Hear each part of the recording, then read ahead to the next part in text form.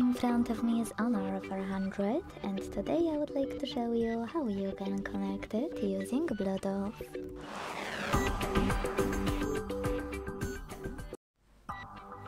Begin by opening settings. Now tap on Bluetooth over here and activate it thanks to this switcher at the top. Then wait for available devices to show. When they do, click on the one you wish to connect to. Select this icon next to allow access to your contacts and call history if you want to allow this option. And when you're ready, hit pair.